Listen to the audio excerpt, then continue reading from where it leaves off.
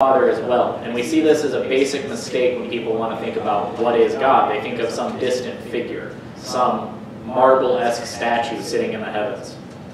That's the first mistake we can make. But the problem is whenever you see when God the Father is speaking, he makes it abundantly clear he is very personal. What I mean by personal is that he wants to be known by you personally and he wants to know you personally.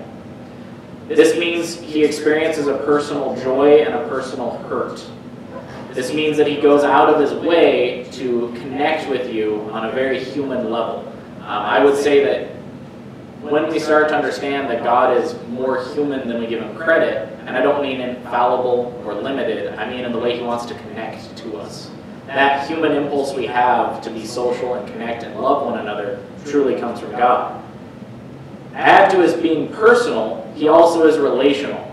He's relational. And we say relational a lot, and for this context, I want to mean he is focused on relationship. Relationship. Relationships require two parties by dint of being in a relationship. Even if you're looking at a pure scientific, how does one thing affect the other? We see this in salvation. You have the relationship of being rejecting the cure or choosing to be in the family. Sanctification, you're walking with God day to day or you're not. Uh, creation, God says, I made you for this purpose. I am God, give you glory, and I'm here to be in relationship with you. God is focused on relation. So one of the biggest areas we can go wrong is when we start to break this down in our mind and take God from a person who is intimately, personally, and relationally concerned for us, we can start to mess up sin, the idea of sin. This is where a lot of people go wrong, have a wrong view of sin. The problem is, when we break God down like this, we forget that sin is a personal and relational affront to God a personal and relational affront to God. Because by his very nature, he is those things. So when God speaks in the Old Testament, uh, sometimes he's talking about his glory, sometimes he's talking about sin. He takes a very personal and relational stance, and that's what we're going to see tonight. So I wanted to say all of that so we can have the mindset of what we're going to see. Because you got to remember, Jeremiah is a focus on a relational God who can secure you if you have faith in him. But also that that relational God has personal hurts from us that results in judgment. So here is God proclaiming to Jerusalem. This is a message that Jeremiah should go to the people. He's already been prophesying to them, wanting them to repent. Now he's going to the capital, to the center of it all, to Judah, and this is his message. The word of the Lord came to me, saying, Go and proclaim in the hearing of all Jerusalem, thus says the Lord. I remember the devotion of your youth your love as a bride, how you followed me in the wilderness, in a land that was not sown. Israel was holy to the Lord, the first fruits of his harvests. All who ate of it incurred guilt, and disaster came upon them, declared the Lord. Hear the word of the Lord, O house of Jacob, and all the clans in the house of Israel. Thus says the Lord, What wrong did your fathers find in me, that they went far from me? And they went after the worthless, and became worthless. And this is immediately our first question. It should be our first thought for the church. Why or when do we leave our first love? And we see this echoed when we see the church in Ephesus. Are we busy? And so in our busyness, even if it's to do God's work, do we replace the love we had with God with works? Do we have good doctrine, but no love and zeal about that doctrine? This is the, the, the thing Ephesus is accused of. Do we have sound, perfect 100% theological accuracy, but the love, zeal, and the heart condition is not right. Is that when we abandon God? Is that when we leave our first love? And really, every angry and bitter person who leaves God, leaves the church, and blames God will have to answer this question.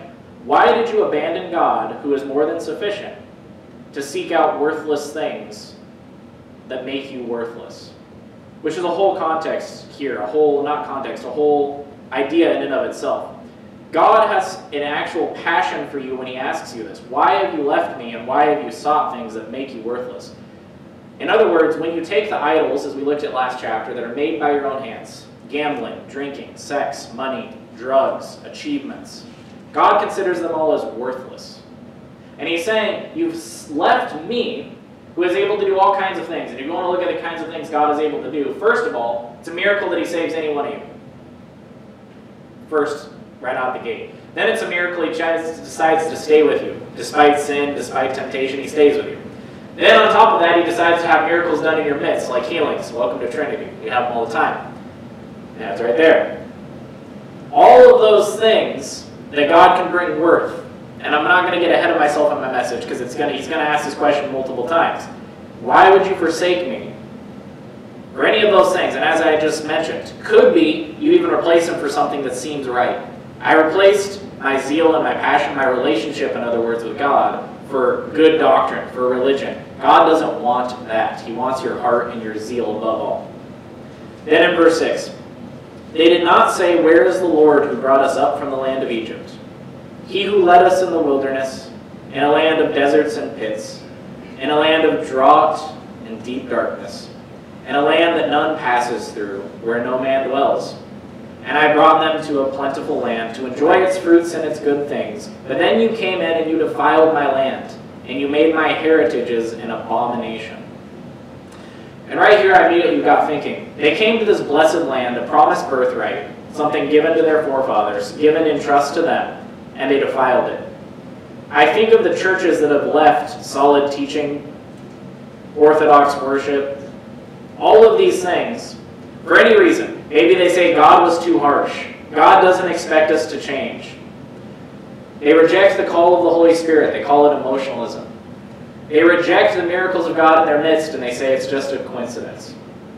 And in so doing, they take all of the blessings that were given to us by the apostles and hand it down and they defile them. They make their churches into tombs, into social clubs, where the Holy Spirit doesn't actually work. We start to see churches that get large and they start to take the money and instead of giving it to the poor as we're called to do, what do they do with it? Immediately we're using it for our own selfish ends. They take the blessed birthright of service, of humility, of the Holy Spirit and miracles, and they trade them for worldly things. That's exactly what Israel did here. And we're going to see how he does that because it keeps going on. But then God wants to talk to the priests. And your priests did not say, Where is the Lord? Verse 8. Those who handle the law did not know me. The shepherds, they transgress against me. The prophets prophesied by Baal and went after things that do not profit you. So Baal. Baal means master. It's the chief idol of the Canaanites. He is a cruel, violent, and bloodthirsty God. That's the whole context of, of Baal. He is human sacrifice. And I want to add this thought to that point. The truth is, any idol and ideal we replace God with is cruel. Is cruel. People don't think about this enough when we talk to the unsaved. They're doing a cruelty to themselves. Every time we replace God and all the good gifts with an idol of our own making, we are serving something that is innately more cruel than anything God would ever do in his judgment. But this next verse I want to give you, this is, I enjoy verses like this, this and Ezekiel. There's moments where God sets himself up as either a prosecutor or witness. And right now he takes the terms and he starts using legal terms. So from verse 9 on for a bit, he's going to sound like a prosecutor in court. He's making the argument before the gates, you could say. Verse 9. Therefore I still will contend with you, declares the Lord, and with your children's children I will contend. For cross the coasts of Cyprus and the sea, or send to Kedar and examine with care, see if there has ever been such a thing. So he's setting up the question. See if this has ever been. And if you don't know where those places are, Cyprus is over here, Kedar is over here, or flip them. It's basically from east to west. He's picking two points on the map that are extremely far apart. He's saying, look everywhere, ask everyone from east to west, see if there's ever been such a thing. Has a nation ever changed its gods, even though they are not gods? But my people have changed their glory for that which does not profit. So he's saying, look from east as to the west. He says, find someone who will trade something that's great, that's valuable. You know, I get the image of the, like the gemstone that's great. Where is someone who will trade something that is worth that much for something that's useless? Then he says, nations don't change their gods, so why did Israel? Why did some Christians? Again, everything he's saying to these people who are his people have gone astray applied in some way to the church today. There are reasons people trade something that's worthwhile for something that's not. Uh, their own pleasure, That's a big one. Their own ease, the Christian life is just too hard. Sometimes it's because there's hard truths in Scripture. They don't jive with what we think God should be like in our head. And sometimes, I want to tell you, it takes more patience as you study and wrestle over God's Word. And I'm sure Angus and uh, Pastor Don can attest to this. Patience to walk in the Spirit, to trust when you don't understand something about God's Word, than it is to make a knee jerk reaction and move churches to get upset and to walk away from the faith. But some people, that's what it is. There's hard truths about God that they can't reconcile because they're so limited, seeing things darkly, but they want to trade something that's worthwhile for something that is worthless. They think it's going to get them something, but it doesn't. So they change their God. And a lot of this that I'm talking about, and I haven't quite hit on the head, is heresies in the church. And heresy, essentially, the dictionary definition is deviating from orthodox teaching of the church. I would add something else and say that when it changes who God is and who you worship, that's heresy. When it changes something from something that God is to something he isn't, that's when you're in danger. So that's his first question. Has there ever been someone who has traded me? Which is also interesting if you think about it. Nations don't change their idols, but yet people will leave from God. Verse 12 Be appalled, O heavens, at this be shocked, be utterly desolate, declares the Lord. For my people have committed two evils. They have forsaken me, the fount of living waters, and hewed out cisterns for themselves, broken cisterns that can hold no water. So they reject what is good, and they embrace what is useless. That's two different sins. They reject what is good, which is a rejection of God. They embrace what is useless. When we disobey God and try to forge our own path instead of relying on the Holy Spirit for guidance, we reject what is good. We disobey God. When we take things that are worthlessness into our ministries, here's one that my people might not like. When we try to imitate the world and be worldly in the way we reach the world, uh, more often than not, it's embracing worthless things. We see this in the Christian music industry when there's tons of people in the Christian music industry that are not Christians but they sing songs that sound like praise to God, and we give them millions of dollars. Why is that a thing? They don't go to churches. They don't have pastors. They have sin in their own life abundantly, but they profit from the people of God. That's worthless. That's worthless. I would rather everybody who listens to them and gives them money genuinely goes to worship at their churches and gives their money to help the poor than buying those albums and songs. But don't get me started on any of that. Sometimes it's out of the misguided attempt to try to reach the world by our own sense of how it's going to work. In other words, we get so focused on this will work, this will fix the world, this will reach the people, and it wasn't the way the Holy Spirit wanted us to do it. It wasn't what God wanted us to do. Um, the easy example is going right off the bat when we start looking at basically self-help sermons. Instead of proclaiming what God is, which a pastor should be, proclaiming what God's word says and what the message of God is. Instead, we're teaching self-help jargon you can read on BuzzFeed. Again, they forsake the living waters. And if that, that should immediately, by the way, be an echo to when Christ says what? I am the living waters, you drink of me, you will not thirst. Verse 14. Is Israel a slave? Is he now a homeborn servant? Why then has he become prey? The lions roared against him. They roared loudly. They made his land a waste. His cities are in ruins without an inhabitant. Moreover, the men of Memphis and Tahpanhes have shaved the crown of your head. Have you not brought this on yourself by forsaking the Lord your God when he has led you in the way? Now what do you gain by going to Egypt? That's reference to the politics. To drink from the waters of the Nile. What do you gain by going to Assyria? To drink from the water of the Euphrates. Your evil will chastise you. Your apostasy will reprove you. Know and see that it is evil and bitter for you to forsake the Lord your God. The fear of me is not in you, declares the Lord God of hosts. For long ago I broke your yoke, and I burst your bonds. But then you said to me, I will not serve. Yes, on every high hill and under every green tree, you bow down like a whore. He's referencing Sinai when they agree to follow God. He's burst their shackles. He's brought them out of slavery. Then, first, they don't trust a God to keep them safe. That's a whole other sermon about the way Christians view being personally safe, but I won't go there today.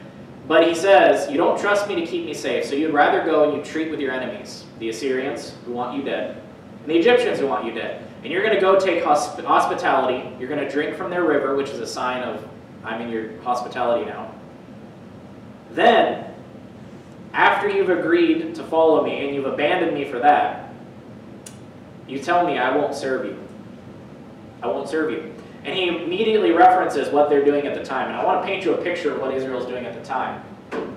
Because there's some similarities for any nation that thinks it's under God and does things like this. The Canaanites all around them came into Israel and they wanted to change the way Israel viewed. They wanted to damage their relationship with God. We know this is actually a plot they had.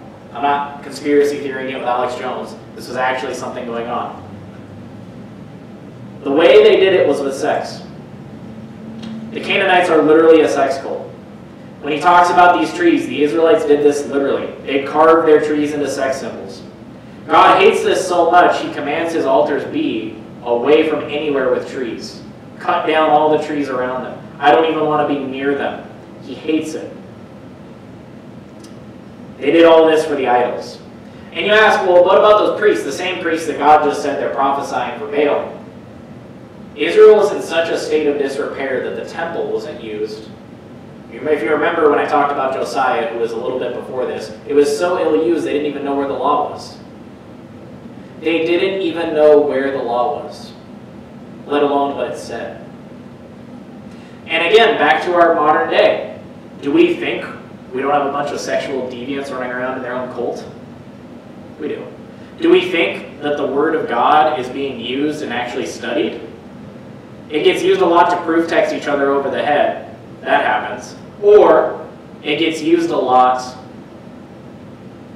It's used a lot out of uh, how should I say? Not out of context, but by people who want to spread lies about the gospel. But there's a shocking under-literacy about God, even in our own pews. When we do surveys and, and polls on the evangelical church, we find out that many of them are wrong on basic Christian doctrine. That if you just read the scripture, you'd be right on. Such things as faith is the way to salvation, faith in Christ, simple things like this. Simple things about the Trinity. A lot of them, I think it was 36% of people polled a couple years ago didn't agree with the Trinity as a doctrine. A lot of basic things.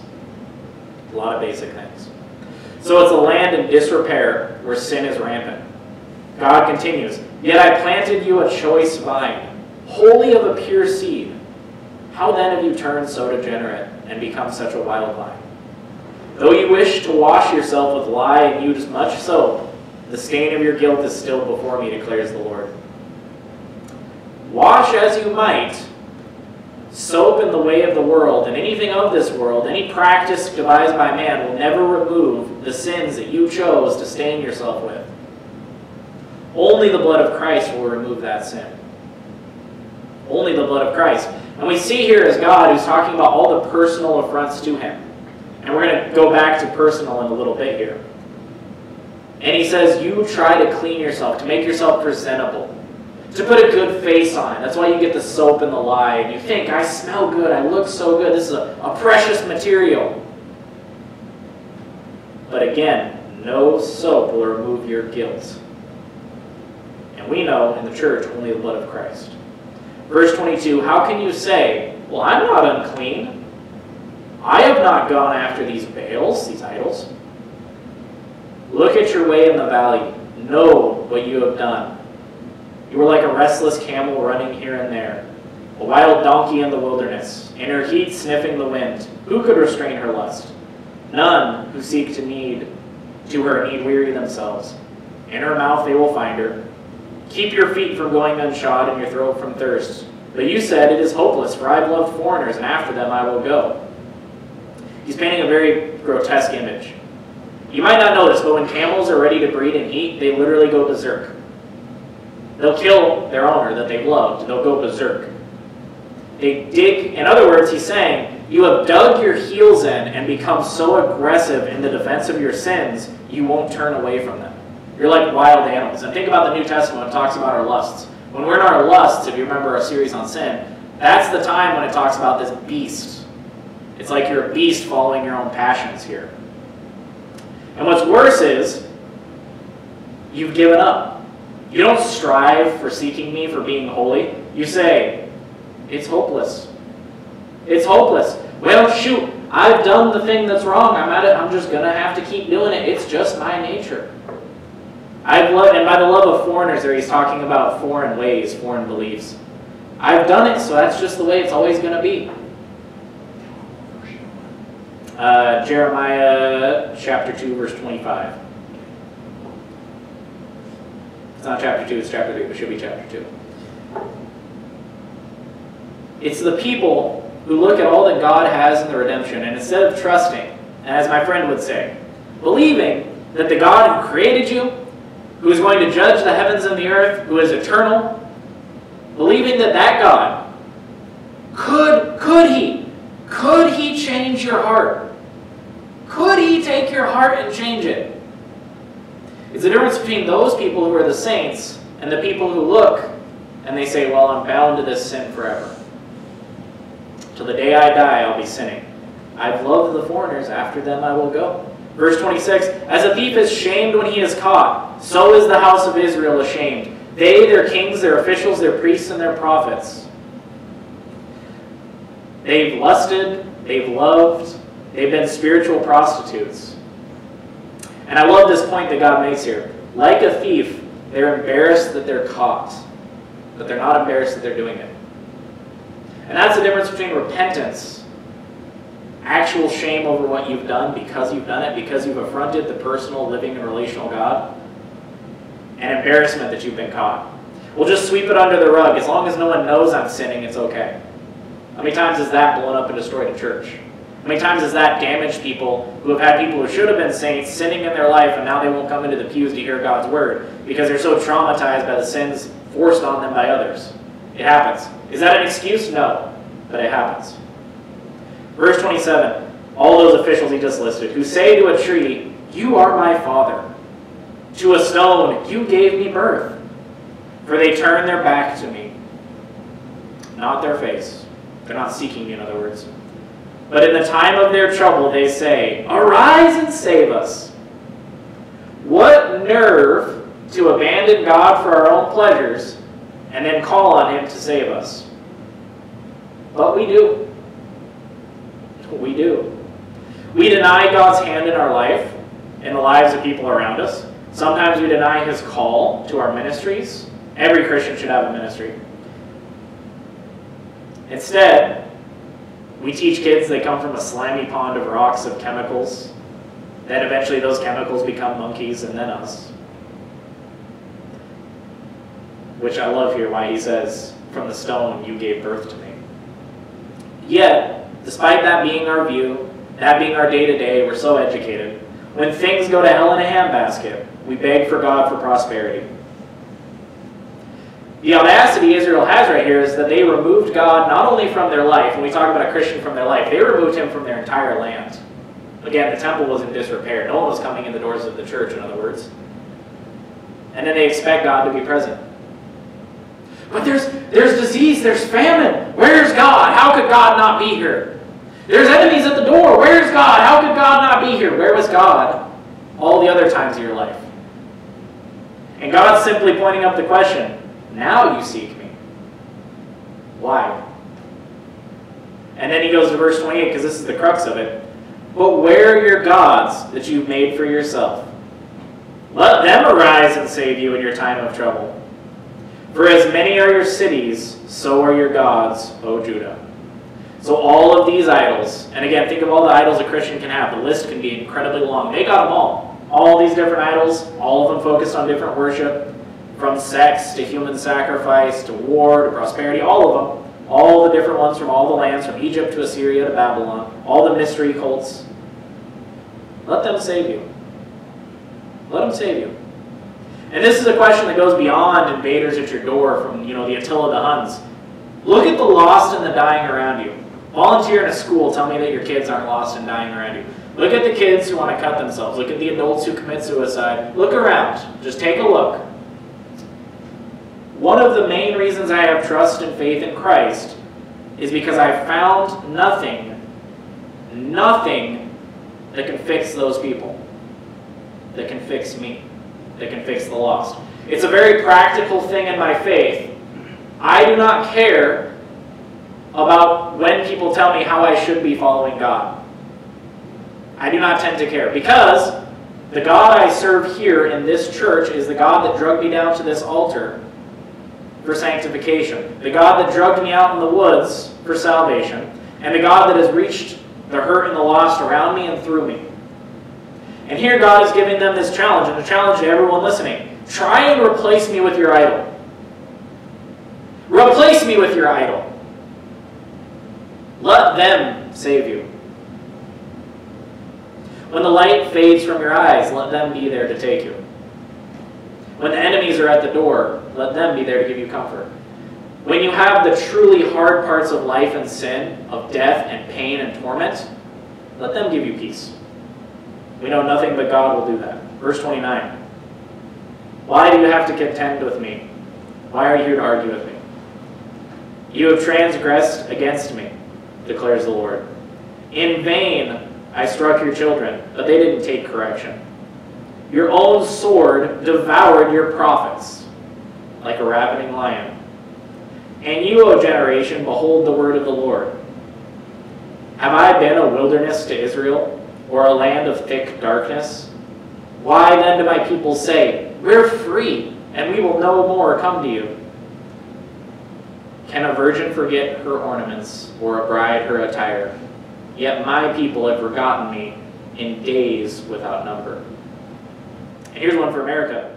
Has God been a wilderness to us? Even when we kept slaves, even when we butcher our children now, you can't deny God's blessing on our land. He says, I tried to correct you all the time. I tried to correct you. I even sent you people to warn you. Think about all the, the small revivals we've had. But by your own sword, you devoured your prophets. You struck them down. You wouldn't listen. And here's a really interesting point thinking about God's relational, his identity status he makes, he chooses to have with Israel. God wanted Israel to use him as an item of identity, of beauty, of relationship, of status, of power. He literally tells them, I wanted you to clothe yourself with me, with my presence.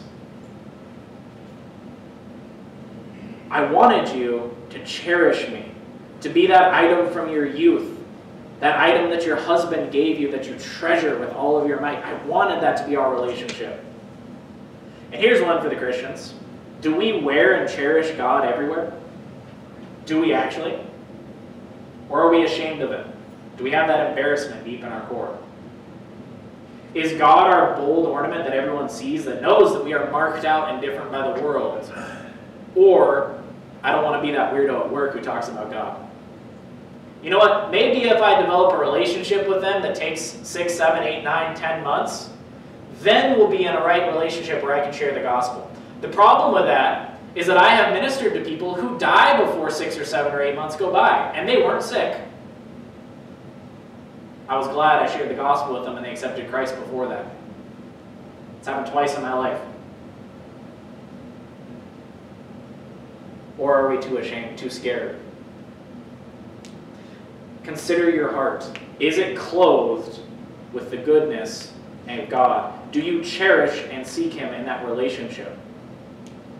If God so far sounds like all of this sin is a personal affront to Him, remember, He is personal, He is relational. It is. Verse 33 How well you direct your course to seek love so that even a wicked woman said, who has, you have taught your ways, so that even to wicked women you have taught your ways, excuse me. 34. Also on your skirts is found the lifeblood of the guiltless poor, yet you did not find them breaking in. Yet in spite of all these things, you will say, I am innocent. Surely his anger is turned from me. Behold, I will bring to you judgment for saying, I have not sinned. How will you go about changing your way? You will be put to shame by Egypt, you will be put too shame by Assyria. From it to you will come away with the hands on your head, for the Lord has rejected those in whom you trust, and you will not prosper by them. So again, they're putting their trust in these other countries at the time, and they're going to fail them. The innocence there. Man, do we rationalize a lot.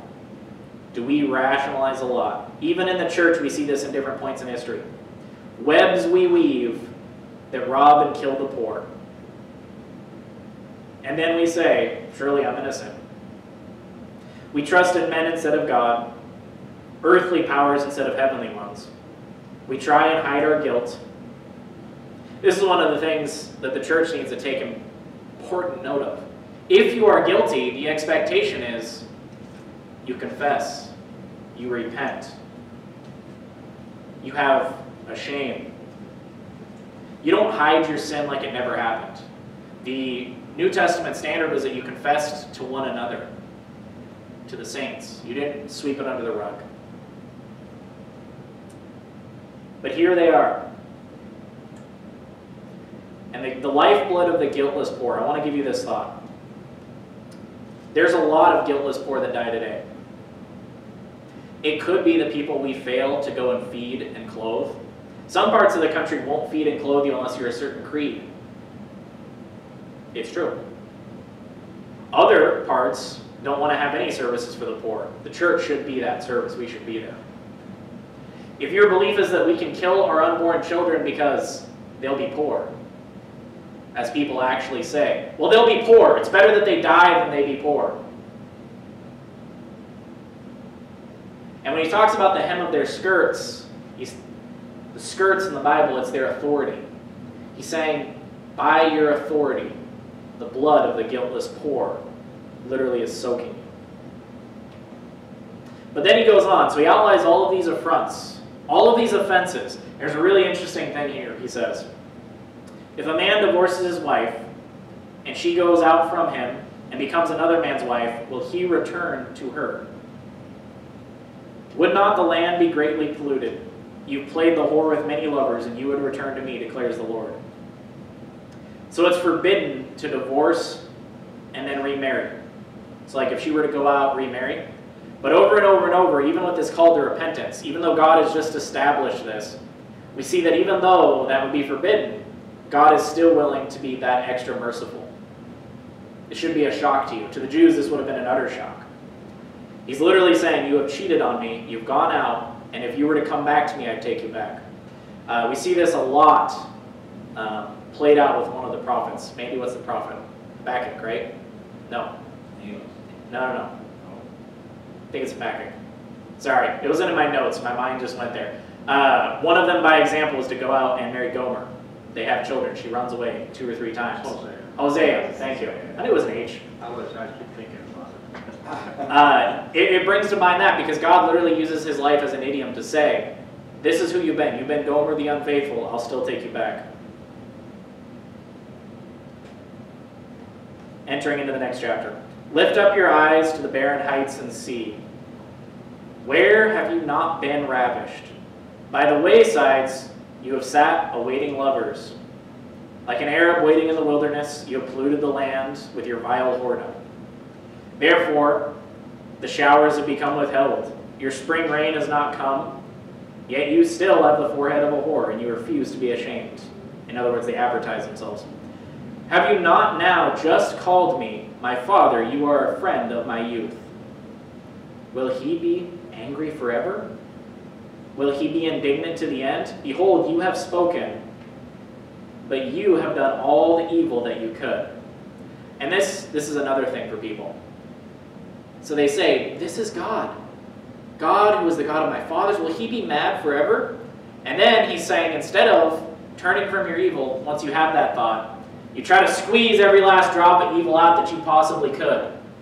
And I'm often thinking about the people, well, I, you know, before I die, I'll just, I'll just accept the Lord on the deathbed. You know, if God reveals himself to me when I'm laying there sick with cancer and tumors, I'm thinking of uh, one of D.L. Moody's sermons. And the point of his sermon was it was a wonderfully simple sermon. He said, I don't even remember most of it, but it was settle it now. If you don't know that you're saved, call on the Lord, and settle it now. And I love this sermon much because that day the miners he was preaching to went out into the mines. There was a cave collapse. And they brought a guy out and his lungs were collapsed and he was dying on the stretcher. And they brought him before Moody and he reached out and he said, I'm glad I settled it today. I'm glad I settled it.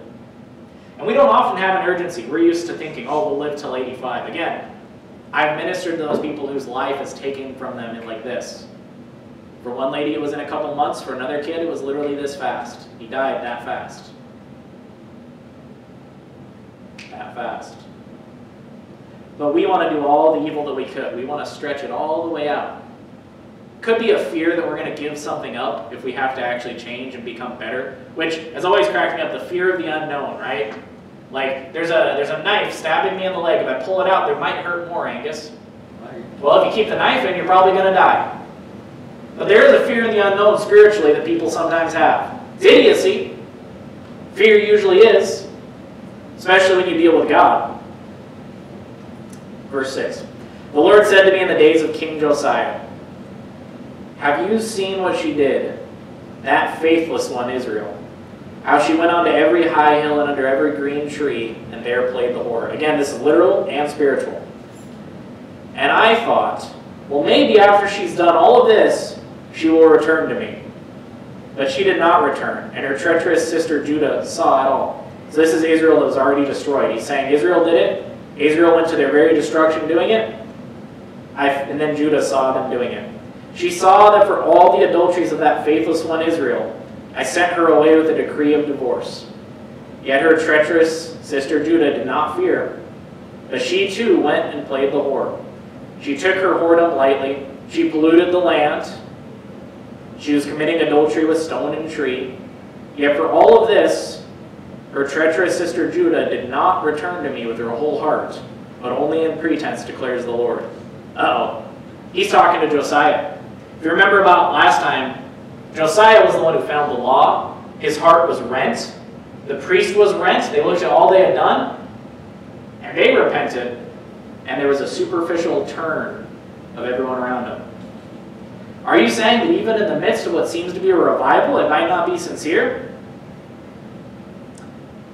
And here's another thought for you. When you see the sins of others, God holds you accountable if you don't pay attention to that. How many people have had an example of both godly and ungodly people in their life, and they see the godly and the ungodly, and we see the outcome of sin and the outcome of righteousness, and we just don't learn by example. You know, it's kind of the condition with siblings. You'd expect my people with siblings, the younger ones would learn, well, maybe I shouldn't do that exact mistake my older one did. His people didn't do that at all. And God actually is giving them that. He's upset by that, in other words. And of course, they're not even honest in their rebellion. They're not even honest. They have a pretense turned to God, which is so much, in my opinion, worse. I would rather deal with someone who's out and honest about their sin than someone who thinks, I'm good. I'm fine. Well, I go to church on Sunday. But do you know what it is to be saved? Well, I'm pretty religious. So no. So no. Again, God is what? Personal and relational. Which means if you have not personally met him and you don't have a relationship with him, you're not saved. You are not saved. I do not care. Like, that's the way it is. You're religious, good on you. So, so is every Muslim. You're not saved. And the Lord said to me, Faithless Israel has shown herself more righteous than treacherous Judah. Go and proclaim these words to the north and say, Return, O faithless Israel, declares the Lord. I will not look on you in anger, for I am merciful, declares the Lord. I will not be angry forever. This is why. This is why they're allowed to come back early. Only acknowledge your guilt, that you rebelled against the Lord your God, that you scatter your favors among foreigners under every green tree, that you have not obeyed my voice, declares the Lord. Oh, return to me, O faithless children, declares the Lord. For I am your master. I will take you. One from a city, two from a family. I will bring you to Zion. I will give you shepherds after my own heart who will feed you with knowledge and understanding. And when you have multiplied and been fruitful in the land, declares the Lord, they shall no more say, Oh, the ark of the covenant of the Lord. It shall not come in mind or be remembered or missed. It shall not be made again. First point repent. Repent. I've taken to calling it the blessed arch of repentance that we all have to cross through on the path of faith. You will not. There's a lovely point in uh, Pilgrim's Progress where by repentance you receive the letter. And if you don't have it and try to walk the Christian life, they don't accept you. You have to repent. And God is saying, if you will only repent, I'll take care of all the rest. I'll take care of teaching you. If that doesn't sound like the Holy Spirit's promise to the church, I don't know what is. I'll take care of giving you leaders. I'll take care of protecting you. Just repent. Just repent. And the Ark of the Covenant is interesting here. Let's talk about that just briefly here. There will come a time when faith doesn't need a symbol that God is among you, which is what the Ark of the Covenant is. This is saying this is God's seat. This is where he is. Touch it, you die, because God is holy. You even approach it more than once a year, you will die. But we know there will be a day when we don't need a symbol that God is amongst us.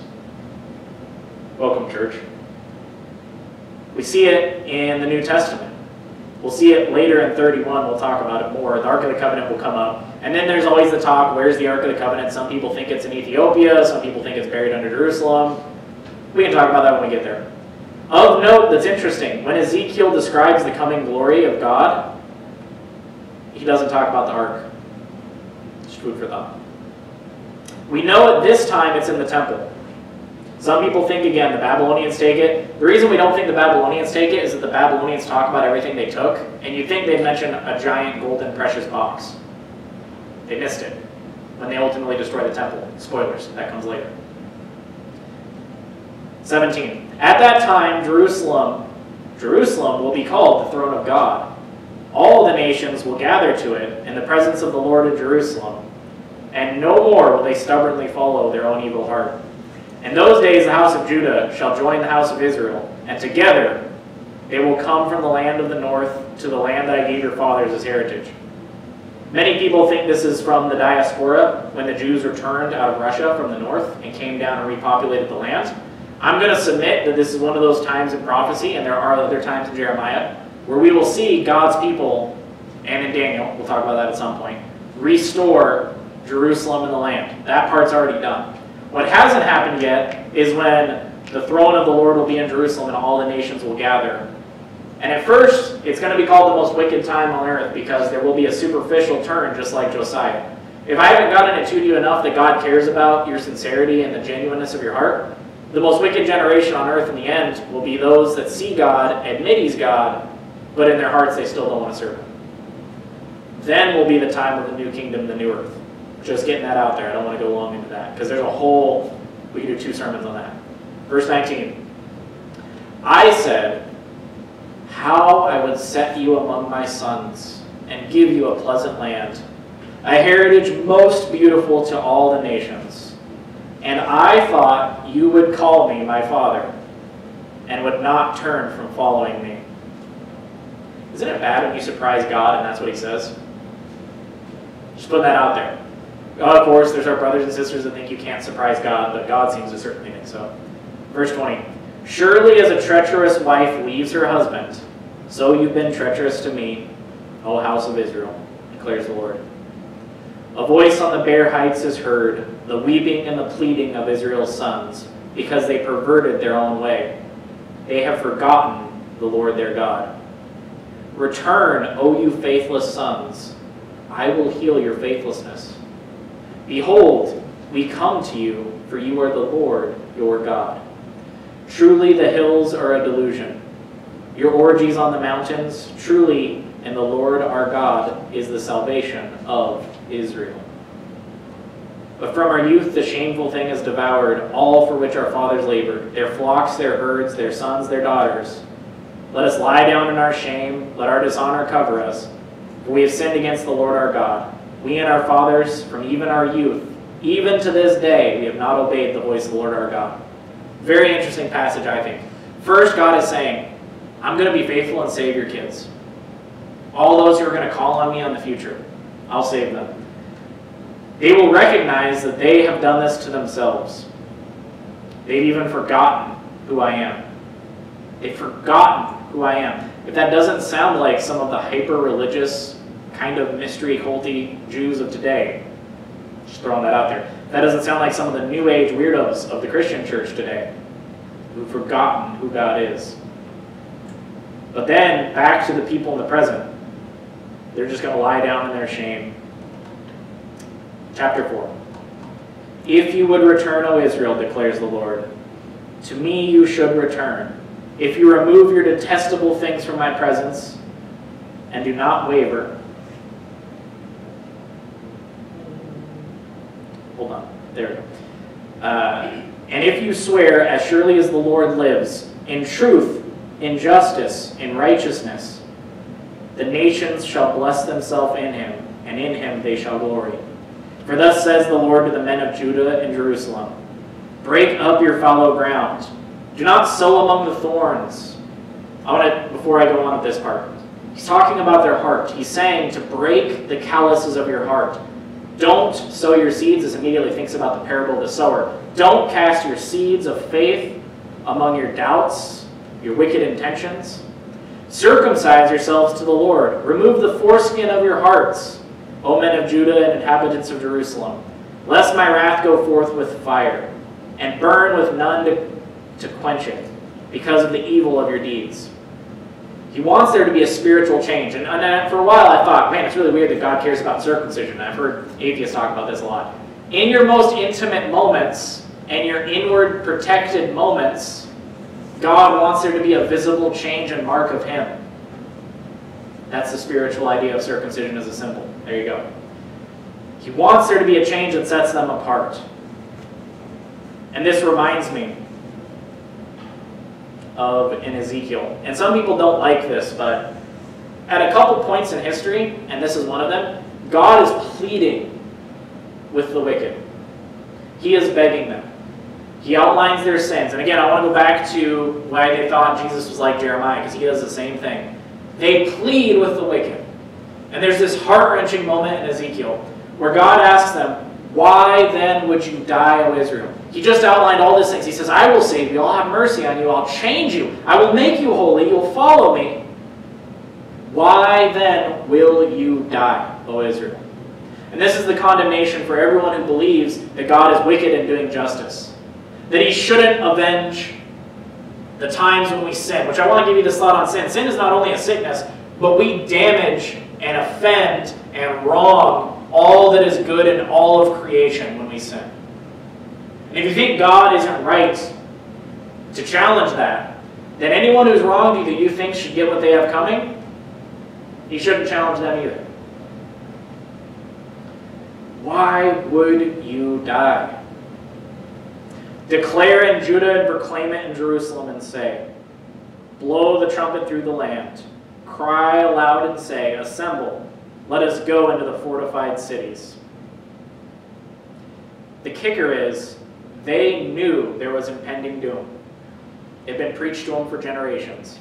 They knew what direction it was coming from. God told them in plain speech, and he offered to spare them, and they still wouldn't repent.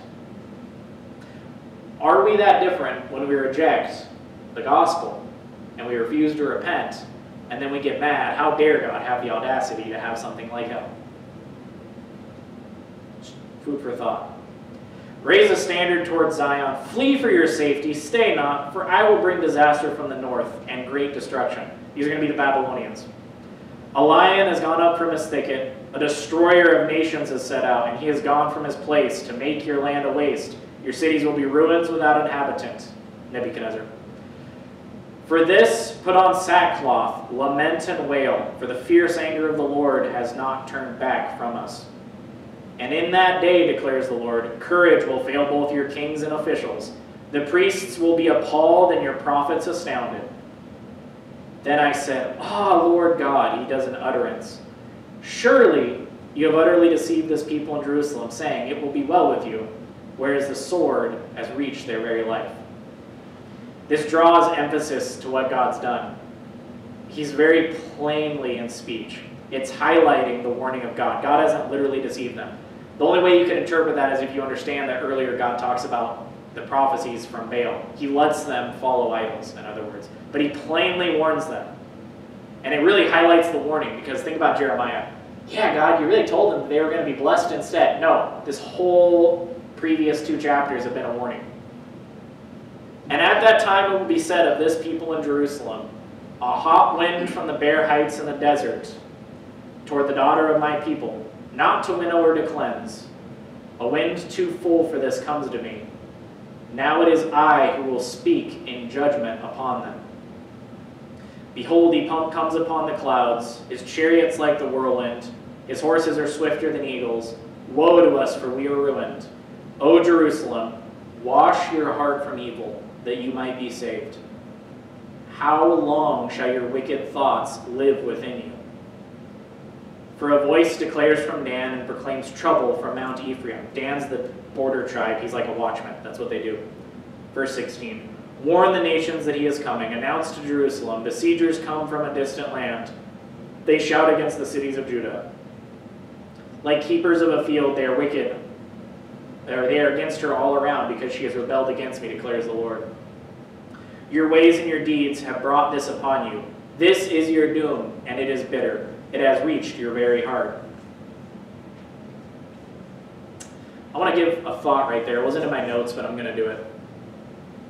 We, in our modern sensibilities, like to delude ourselves when we think about how virtuous we are. Oh, we really do. We're, we're good. We're really good.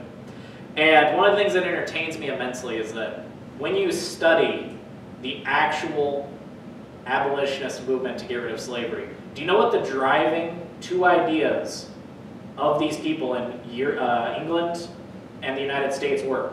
This is it. You were made in the image of a personal and relational God. So it's wrong for me to enslave you. Furthermore, there is a real and present judgment that's going to be brought on our nation for violating that. So we need to have a sense of urgency to get rid of this evil in our land. Then they would go on to say, and our belief is the belief that using that premise, you can fight any evil in any society, not just slavery. Because human beings are made in the image of God by a personal relational God who cares about them, and his wrath and judgment will come. So anyone who says, well, talking about God's judgment wrath doesn't get anything done, that's literally what motivated those two groups of abolitionists. Nothing else. So much so that everyone around them, even people who wanted to get rid of slavery in some distant future, you know what they called them? They said, you guys belong to some religious sect. You're extremists. Keep your ideas to yourself. You shouldn't be allowed to speak in government. Even the people who wanted to get rid of slavery thought it would happen in 150 years. You're extremists. You're exaggerating. You talk about God's judgment. No, we're not going to talk about that. What was the fruit of their ministries? An end of the slave trade overseas first, and a gradual and eventual, rather sudden and bloody, I should say, end of it here in America. And again, is there a parallel to the United States? Well, we take those made in the image of God in a personal, relational way, we pull them out of the womb screaming, and we kill them. At three weeks, they already have heartbeats, brains, feeling pain, reacting to stimulus. You know, I don't want to go full on and get me banned here, but if you don't see the parallels there, I'm sorry. I'm sorry. But back in the day when it was slaves, black, white, Asian, didn't matter who they were, abolitionists got together and said, we are made in the image of a real and personal relational God. What we are doing is wrong. What you say is legal, is right, is wrong. We will be judged because of this. Repent was their message. We sometimes do a good job of that in the church. Sometimes we don't. We have entire churches that are, I stand pro-choice, so they say. Verse 19, My anguish, my anguish, I writhe in pain. Again, think of this, this is God, relational, personal. The walls of my heart, my heart is beating wildly. I cannot keep silence, for I hear the sound of the trumpet. I hear the alarm of war. Crash follows hard on crash. The whole land is laid, laid to waste. My tents are laid to waste, my curtains in a moment. How long must I see the standard and hear the sound of the trumpet? For my people are foolish, they know me not. They are stupid children. They have no understanding. They are wise in doing evil, but how to do good they know not. You understand, when we reduce God to a force, hearkening back to the beginning of a message, when God gives judgment over personal sins, He's pained. He's pained in a personal, real, and relational way. Verse 23 I looked on the earth and beheld, it was without form and void, and to the heavens they had no light. I looked to the mountains, and behold, they were quaking, and the hills moved to and fro. I looked and behold, and there was no man, and all the birds in the air had fled. I looked and behold, and the fruitful land was in a desert, and all its cities were laid to ruins before the Lord, before his fierce anger. For thus says the Lord, the whole land will be made a desolation, yet I will not make a full end. For this the earth shall mourn, the heavens above will be dark, for I have spoken, I have purposed, I have not relented, now I will turn back. At the noise of the horseman and the archer, every city takes to flight. They enter their thickets, they climb in the rocks. All their cities are forsaken, and no man dwells in them. And you, O you desolate one, what do you mean that you dress in scarlet, that you adorn yourself in ornaments and gold, that you enlarge your eyes with paint? In vain you will beautify yourself, but your lovers despise you when they seek your life. For I heard a cry as of a woman in labor, anguish as to one giving birth to her first child. The cry of the daughter of Zion, gasping for breath, stretching out her hands. Woe is me, for I am fainting before murderers. This passage at the end, I want to leave this with you, is a glimpse at not only the onslaught of the Babylonians, but it's ultimately going to be a glimpse of the destruction in the end when God returns everything into like it was in Genesis, without form and void. That's why there's a split right there.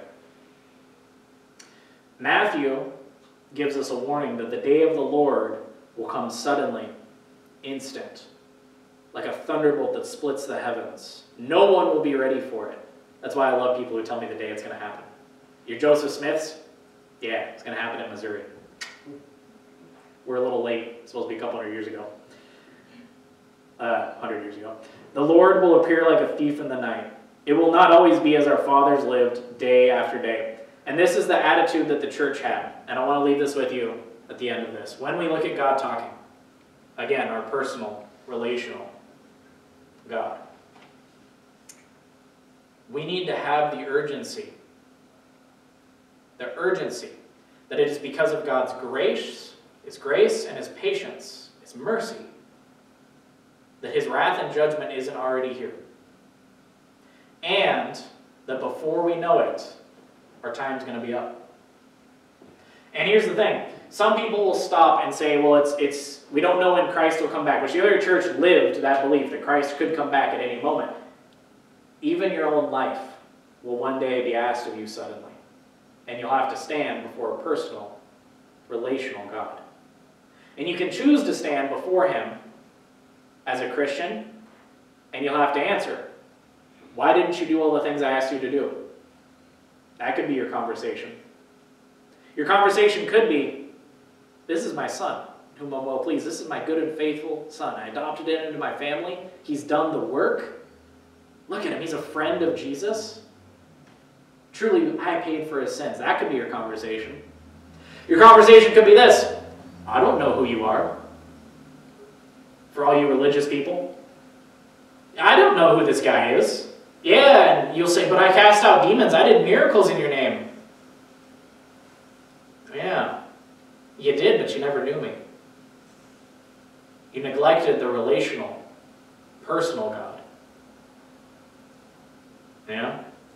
If God just wanted garden instruments and shovels, he'd have made shovels. He wants you to know him. Your conversation with God could be this. Well, God, if I only had more time. If only I knew. And I think of the man in, uh, the man that Matthew tells us about when he died. And the Lord tells him, they had the prophets, they had the word, they had time. What did you do for the poor? That was also the condemnation of that man. Your conversation could be one where God says, and you stand before Him in His wrath and His glory, in the full presence of Him, the pit behind you, and God looks at you and says, Let your idols save you. Let them save you. Repentance, the fancy word of saying you admit your wrongs, any of them you've ever done, the times you've laid waste to the land, so to speak, you've damaged those around you. In faith, you start that relationship with God who's reaching out to you so you can stand before Him with a right heart, with a zeal in friendship with God. The personal, relational God who has been calling to you all this time, who's been calling to your forefathers, who's been even calling to the people who are going to come and strike you down. The God who is sufficient and can save even you. Even you. I don't care you say, well, I'm not as bad as those people. Yeah, that makes you worse. At least those people admit what they've done wrong. At least those people, their heart is tearing because they lied to someone, because they cheated, because they stole, because they've gambled, whatever it is, because they've done some sin that has hurt other people. At the expense of others, they indulge their selfishness. We're all going to do it. It all happens. No one. Remember what God just said about his own people. You've said you've not sinned, and because of that, I will bring my wrath on you. So whenever God speaks in a personal, relational way, there's a lot that can be gleaned. So thank you for indulging me that we went a hair longer tonight than normal. I'm going to end in prayer. Lord, I pray that your Spirit, in its personal and relational way, would go out and would touch the hearts and lives of everyone who heard, would even hound them and bring them, Lord, to you, face to face.